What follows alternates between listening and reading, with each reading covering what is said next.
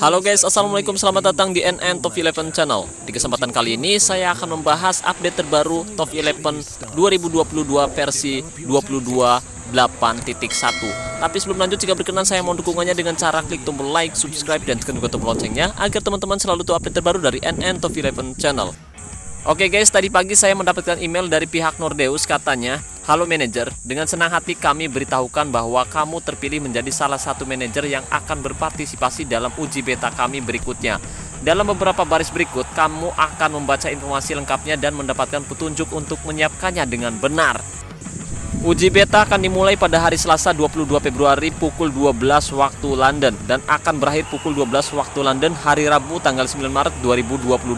Untuk berpartisipasi penuh selama keseluruhan tes kamu dapat meraih 300 token.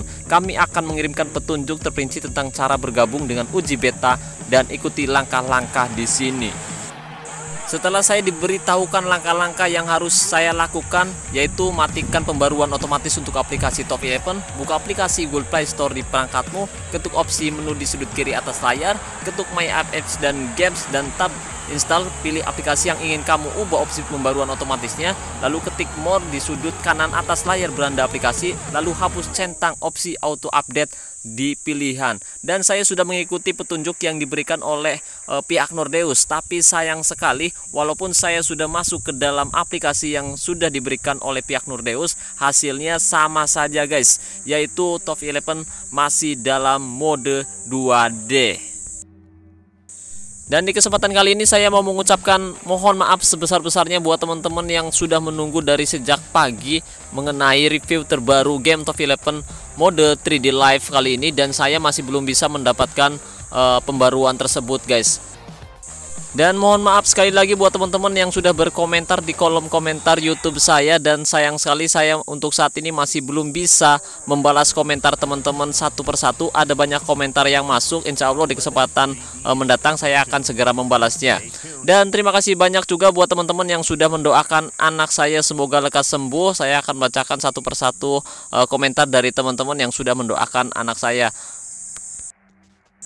Oke guys, ini adalah postingan tadi pagi mendapatkan 94 like dan 38 komentar. Saya mau mengucapkan terima kasih banyak untuk Bang Alpa, kemudian Bang L, lalu ada Bang Diko Woy, lalu ada Bang Muhammad Abdul Aslan yang telah mendoakan anak saya. Terima kasih banyak. Dan selanjutnya ada Bang BM83NK. Terima kasih banyak atas doanya.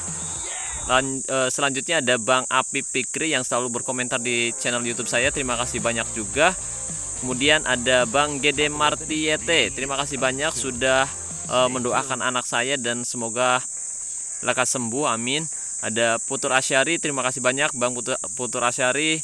Terima kasih banyak juga buat Bang Rido Nugroho. Terima kasih juga buat uh, Bang Jupen Channel. Terima kasih juga buat Bang Offline. Dan terima kasih banyak juga buat Bang Sigit Rizky. Terima kasih juga buat Bang Mohajik Mazran. Terima kasih banyak buat Bang Dharma Putra. Dan terima kasih banyak buat Bang Dani Ramdan. Oke selanjutnya ada Bang Bobo Yogi uh, Balhaki. Terima kasih banyak sudah mendoakan anak saya. Dan selanjutnya ada Bang Dans Bang Malpin Hartanto Bang His uh, Hiskis Lalu ada Bang Halim JRS ada Bang Aril Izza Maulana Hafiz terima kasih banyak.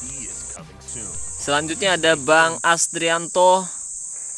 Syafaat buat anaknya Gan? Oke terima kasih banyak. Amin ya robbal alamin. Terima kasih banyak juga buat Bang Anton Bang Anak Meme Bang Ruziari Razali kemudian ada Bang Wahyu Ram eh, Ramadan Bang Fahri lalu ada uh, ini namanya udah ganti terima kasih banyak.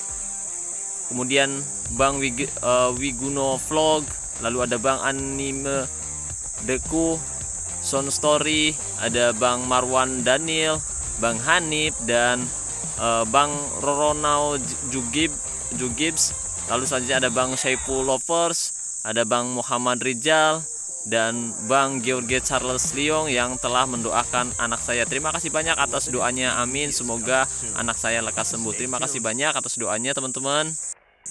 Dan saya doakan juga semoga teman-teman dalam keadaan sehat selalu di mana pun berada dan semoga sukses. Semoga keluarganya selalu dalam keadaan baik-baik saja di mana pun berada. Terima kasih banyak atas doa dan dukungannya dari teman-teman semua. Tanpa teman-teman mungkin saya belum bisa uh, sampai sejauh ini. Sekali lagi saya ucapkan terima kasih banyak. Wassalamualaikum warahmatullahi wabarakatuh. Salam olahraga, salam Top Eleven Indonesia.